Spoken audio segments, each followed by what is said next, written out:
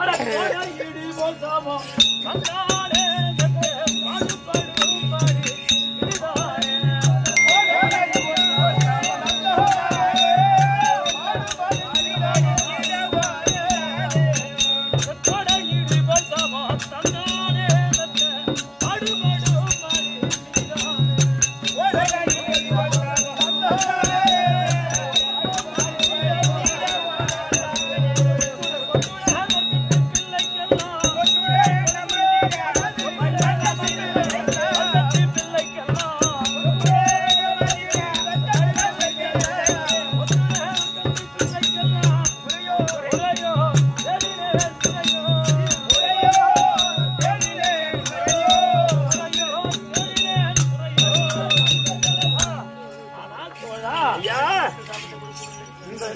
நானும் எவ்வளவு கெஞ்சி பார்த்தேன். இந்த கோடை காலத்து மானம் எப்படி தடாபடம் இருந்தோ? அத்தனை போல எனக்கு மட்டும் சாப்பிட்டாலும் பரவாயில்ல. என் வர்க்கத்து பிள்ளைகளுக்கே சாபம் விட்டான பாவி. நாமளோ ஆ, இப்படி அழுது பழம் இருந்தாலும் அதுக்கு என்ன தெரியாது. ஒண்ணும் தெரியாது. பரம கடவுள் சென்று. என்று அவர்கிட்ட தகுந்த யோசனை கேட்போம். இதுக்கு ஏதாவது ஒரு வழி சொல்றேன். சாபத்தை நிவர்த்தனை செய்ய வேண்டும். சரி சரிங்க சரிங்க. என் மாமனார் வந்தார் என்ற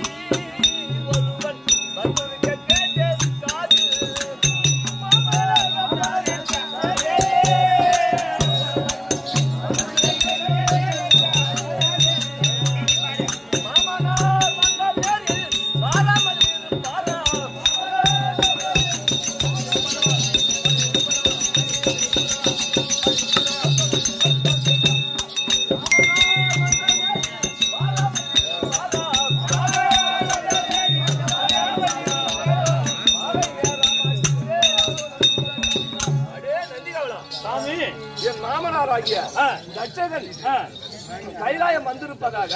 ஒரு வைப்போக்கன் சொன்னான் ஆ, அப்படி இருக்க. மாலையே மசங்கி போச்சு. இன்னும் காணோம். என்னாச்சு? வந்தாரா இல்லையா? உனக்கு தெரியுமா? ஆனால் சுவாமி அவர் வந்தார் மன்னம் தள்ளி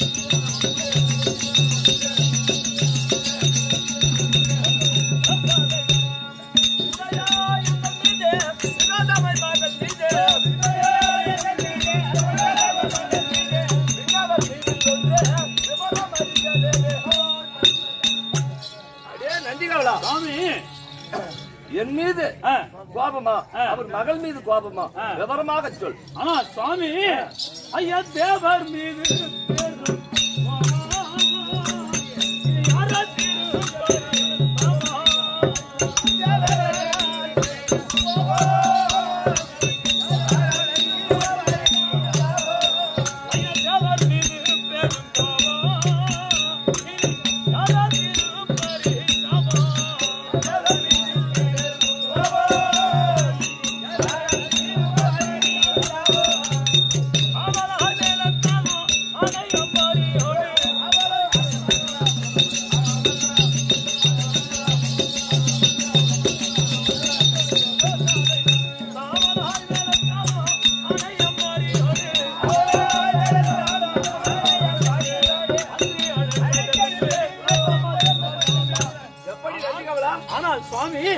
அவர் உங்க. மீது கோபமாக தேவர்.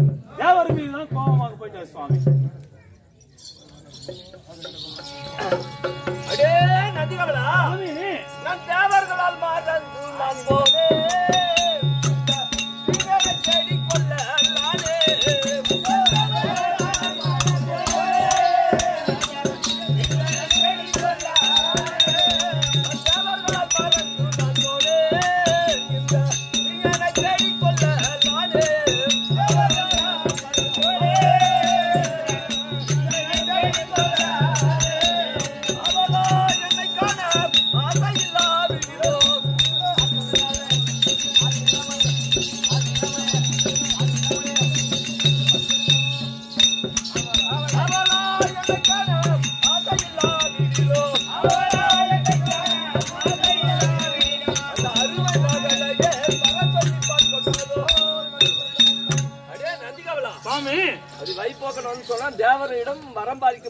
தேவர்களால் மறந்து விட்டேன் வரம் வரம் கொடுக்கறதுல இருந்துட்டேன் ஏன்.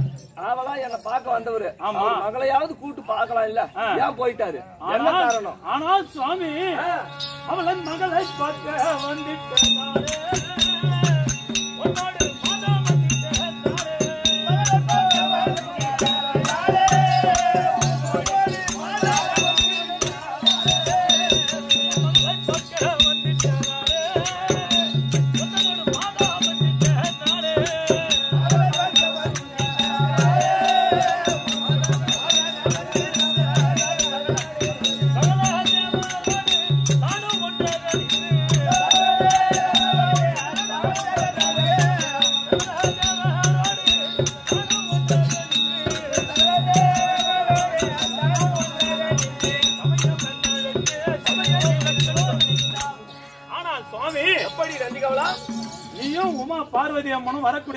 வரமளிச்சிருக்கும் போது தேவராட தேவராக பார்த்து அவரும் வந்திருந்தார் சாமி சபைக்கு. சபையில வந்திருந்தாரா?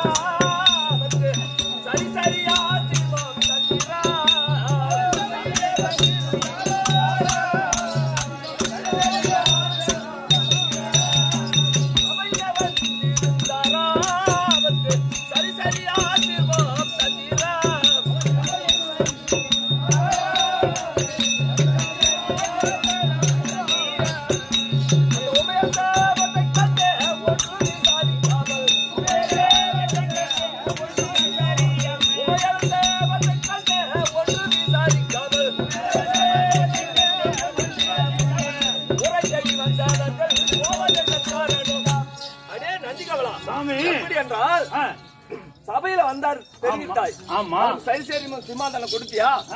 ஆனா கொடுத்தியா? ஆனா கொடுத்தேன் சுவாமி. அவரு பெண்ணு பார்வதியை கூப்பிட்டு கூட பார்த்துட்டு போவாது ஏன் ஊரை தேடி வந்தவரு போவது என்ன காரணம்? என்ன? ஆனால் சுவாமி. ஐயா சபையை விலக்கி வரும்.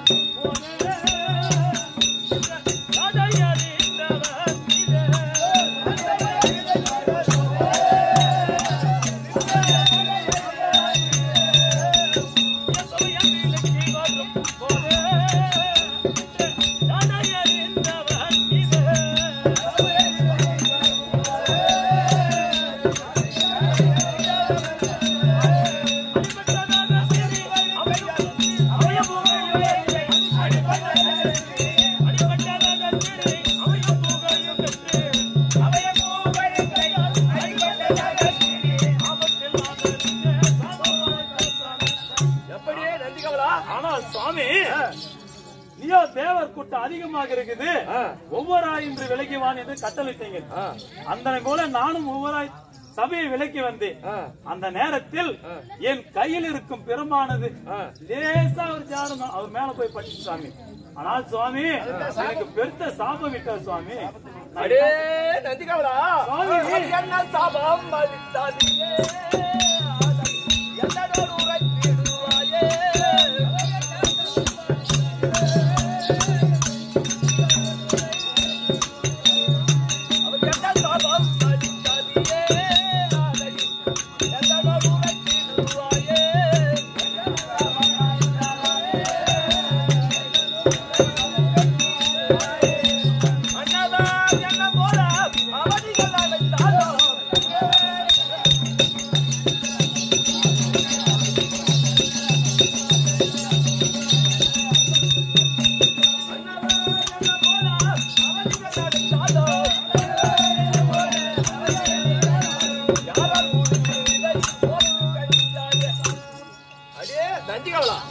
சாபம் தந்தார் என்று ஆமா. சொன்னாய். என்ன சாபம் அளித்தார். அந்த விவரமாக தெரிவிப்பாய். ஆனால் சுவாமி அவரின் மகளை பார்க்க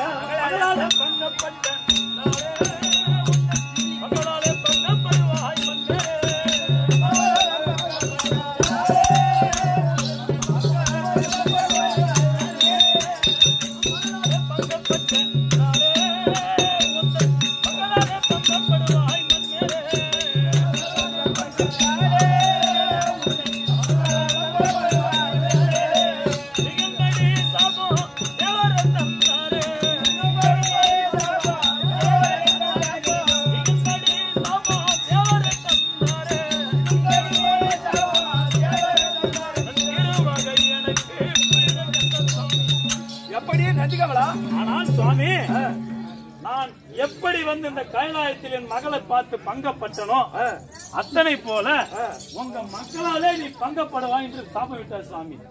இதுக்கு ஏதாவது தகுந்த யோசனை இருந்தா அந்த சாபம் நீக்கிறதுக்கு வழி இருந்தா சொல்லுங்க சாமி அடே நந்திகவலா. சுவாமி. அட அந்த மலரையின் சாபத்தாலே மண்ணில் யான் பட்ட? துன்பம்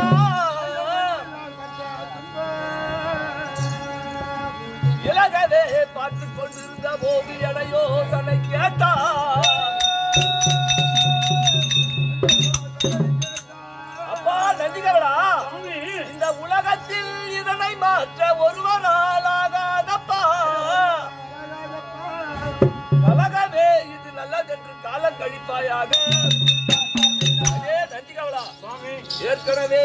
பிரம்மா சிரசை கிள்ளிவிட்டு. நான் பட்டப்பாடும். கெட்டக்கேடும். கூட இருந்து. பார்த்து கொண்டிருந்தான் இருந்தாய் பார்த்து கொண்டு இருந்தோம். இந்த சாபம் தீருவது எப்படி என்று என்ன வந்து கேட்கிறார் ஆமா. சாபம் என்பது. திரு மும்மூர்த்தியை விட்டதல்ல இவ்வளவு லேசா தப்பிச்சதே பெரிய விஷயம். இதுவே நல்ல காலம் நீயாவது. ஜாக்கிரதையாக. காலம் கழிப்பாய் சென்று வாய் நந்திகாவலா அப்படியே சென்று திருமணத்தாலே நந்தியாகப்பட்டவர் இந்த சாபத்தை நிவாரணை செய்ய வேண்டும் என்று பரம கடவுள் இடத்துல சொல்லி பரம கடவுளானவர் சாபம் என்பது மூத்தியை விட்டதல்ல. இவ்வளவு லேசாக தப்பித்துக் கொண்டது எவ்வளவு புண்ணியம். காலம் கழித்து வருவாய் என்று கட்டளையிட்டு விட்டார் அக்கதை எப்படி இருக்க? நந்தி தேவரானவர் தன்னுடைய மகனாகிய மூத்த பிள்ளை அழைத்து அப்பா உனக்கோ ஐந்து வயது ஆகிவிட்டது. கல்வி சாலைக்கு சென்று கல்விகளை எல்லாம் கற்று வருவாய் என்று மூத்த பிள்ளை அழைத்தார். மூத்த பிள்ளை என்ன செய்தான்? தந்தையே நான் சென்று வருகிறேன் என்று சொல்லிவிட்டு பொன்னால் அலங்கரிக்கப்பட்ட தாழ்வடத்தை கைட்டி வைத்துவிட்டு சாணவானம் செய்து கொண்டிருக்கும் நேரத்தில் அந்த மூத்த பிள்ளையானவன் அந்த தாழ்வடத்தை களைவாடி சென்று விட்டான். அடே சண்டாள பயிரு குளத்தை கெடுத்த கோடாளி காம்பே கொலப்பதிலாகி விட்டாயே. தாழ்வடத்தை களவாடி சென்றபடியால் நீ என்ன கண்ணடர் குளத்தில் அவதரித்து கோவில் எங்கும் பூஜா தூணாக இருக்க கனவு என்று சாபத்தை கொடுத்து விட்டார். பிறகு தன்னுடைய மகனாக விளங்கக்கூடிய இளைய பிள்ளை அழைக்க இளைய பிள்ளை தர்பார் அன்னாரால் கலைத்து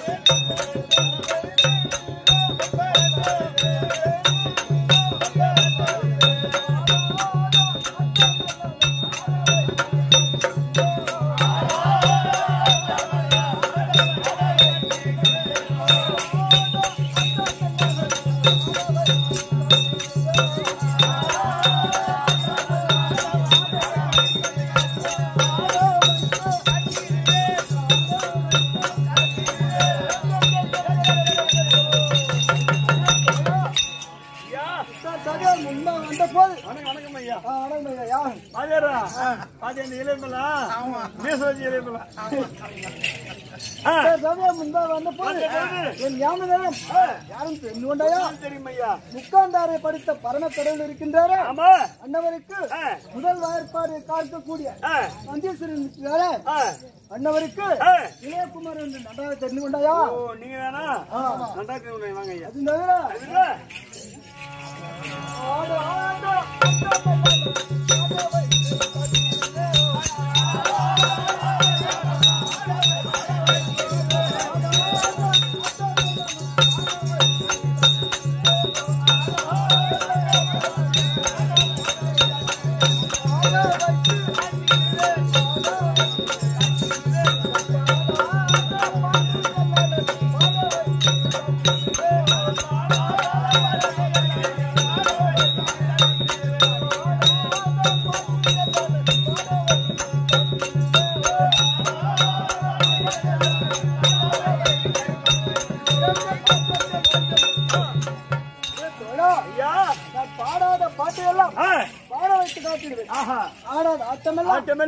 ஆட வைத்து காட்டிடுவேன் ஆட ஆட்டலாம் ஆடு என்றால் ஆடு.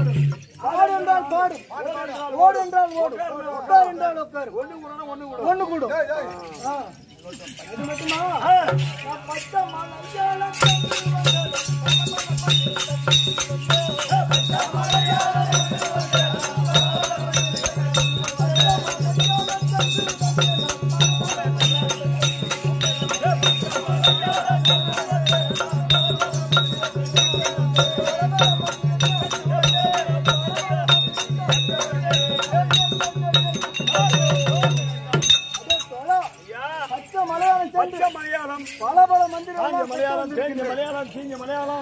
மலையாளம் எல்லாம் போய் கத்துட்டு வந்தா? கற்று வந்திருக்கின்றேன் திருத்தம் வந்துருவாங்க. விருத்த மந்திரம். ஆ. அது மட்டுமா? நானும் வந்து வெகு நேரமாகிவிட்டது ஆகிவிட்டது. என் தந்தையாகப்பட்டவர் மற்றவரோ ஏதோ காரணமாக அழைத்திருக்கிறார். அழைத்திருக்கின்றார். தந்தை எங்க இருக்கிறார் என்று. உடனடியாக கண்டு கொண்டு பார்க்கலாம் பார்க்கலாங்க.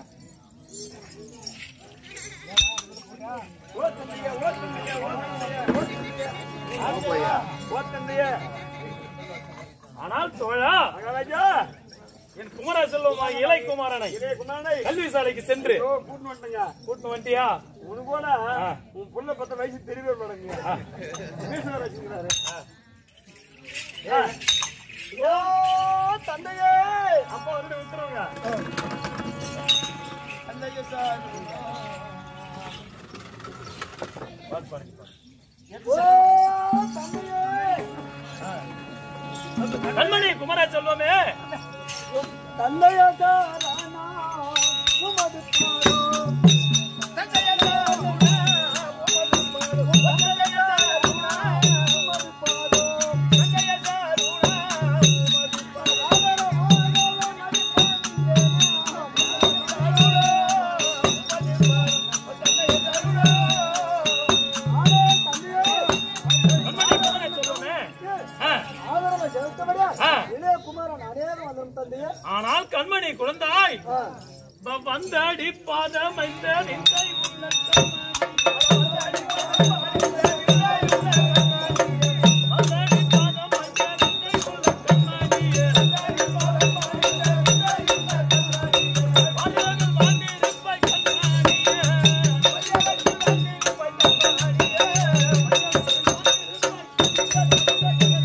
ஆனால் கண்மணி குமார செல்வமே என்னுடைய பாதத்தை ஆதரவு செஞ்சபடியா என்றென்றைக்கும் சுகமாக இருந்திருப்பாய் கண்மணி எழுது. இருபது நிமிஷம் ஆயிடுச்சு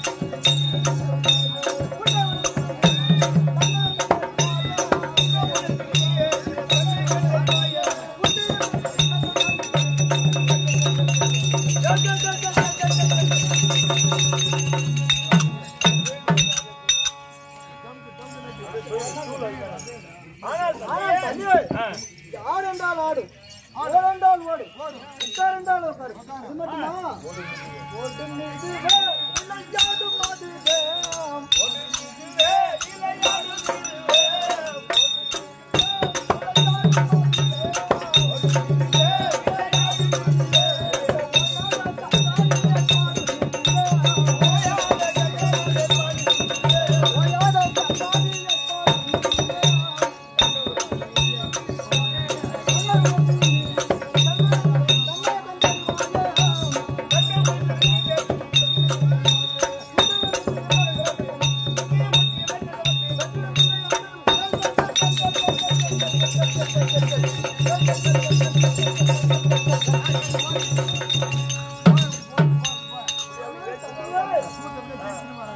மட்டுமா ஓடு என்றால் ஓடும் ஆடு ஆடு என்றால் ஆடும் பாடு என்றால் பாடும் பேர்பட்ட பொம்மை பாத்தியா அது மட்டுமா காலம்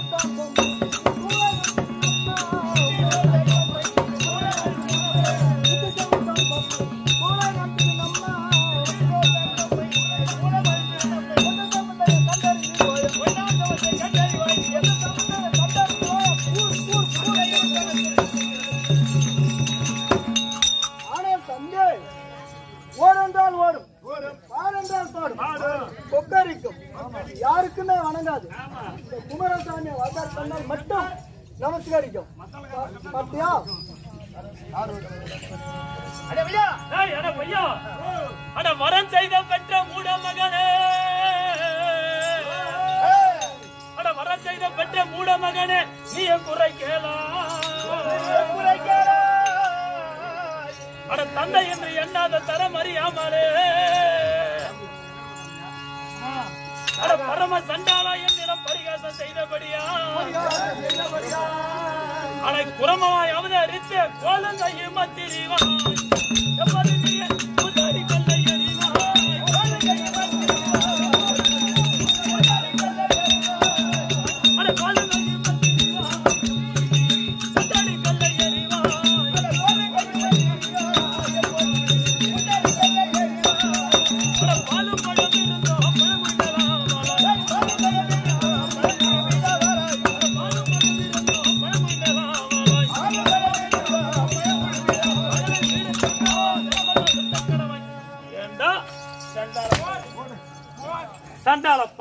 சண்டாளா ஏண்டா? ஒரு தந்தனுடைய நான் எங்கே ஒரு குட்டித்தனம் ஆக்கி என்னிடம் நீ குடும்பத்தனம் செய்தபடியா ஒரு தந்தனுடைய நான் குடும்பத்தனம் செய்தபடியா குடும்பனாய் அவதரித்து ஆ, பாலுப்பழம் இருந்தாலும் பகலில் வீடு தங்காமல் இந்த ஜலமெல்லாம் சுத்தி ஆடுகளை மேய்த்து வருவாய் பிற சாபத்தை.